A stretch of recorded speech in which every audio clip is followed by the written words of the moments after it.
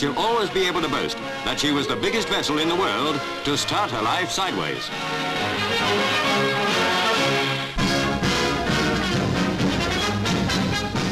Out California way near Santa Cruz, nature takes on some strange twists at the Erlandson Tree Circus.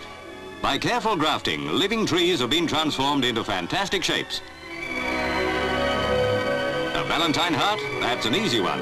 Or how about an armchair made out of four growing trees? It's enough to make a cat laugh. Every one of these startling designs is alive and growing.